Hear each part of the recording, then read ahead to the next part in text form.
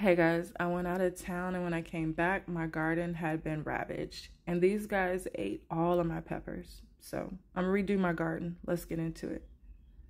So first things first, I needed to get some more natural insecticides. So I got some cedarwood oil, lemongrass oil, and peppermint oil. And I like to just mix this with witch hazel, alcohol, rubbing alcohol, and spring water in a spray bottle, and that keeps the bugs away.